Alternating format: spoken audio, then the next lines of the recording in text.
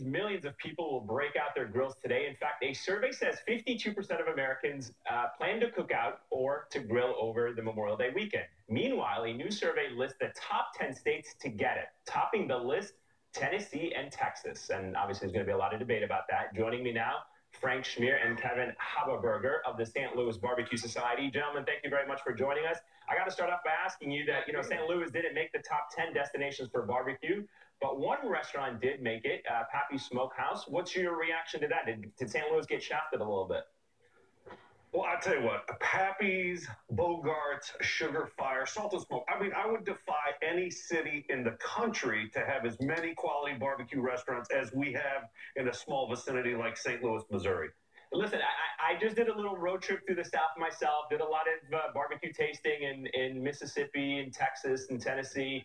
It's a lot of, you know, there's a big difference between dry rub barbecue and wet sauce barbecue. Where does St. Louis fit in on that? I always say we're right in the middle. I call uh, St. Louis sticky. You've got a lot more wet in Kansas City. You've got the dry rub in Memphis. And St. Louis falls somewhere right in between where we like a little bit of sauce, and you can see it in some of the dishes that we've got prepared this morning. Just a light glaze of sauce to give you that, that stickiness to it. That's what style I say we have. Absolutely. Sweet and sticky in St. Louis. Yeah. All right, a little bit of both so everyone can come out as a winner there. So, Frank, Frank, let me ask you this. What, what do you have there? What you got on the table? I'll tell you what, it wouldn't be Memorial Day in St. Louis if we didn't have pork steaks. Pork steaks are indigenous to our area. If you're ever in St. Louis, you got to try pork steak.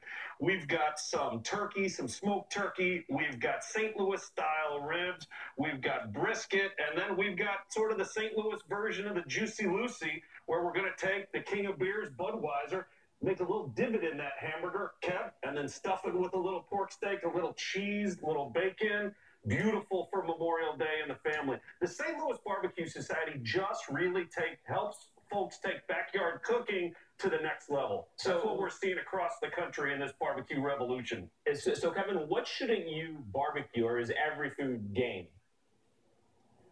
Oh, I think every food's game. I mean, one of the things I do in my blog, Extraordinary BBQ, is we try to take everything and figure out a way to do it on the grill. Even, you know, a grilled mojito for a drink or pineapple, different kinds of fruits. So I think anything's game for it. I will say that my wife and I disagree from time to time where I love that smoky flavor in anything, whereas she says, ah, this may have been better served just to be prepared inside. Gentlemen, thank you guys both very much. Uh, we may give you the address to our studio if you can send us some of those recipes. We'd certainly appreciate it. Yeah, I'll be glad to. Yeah.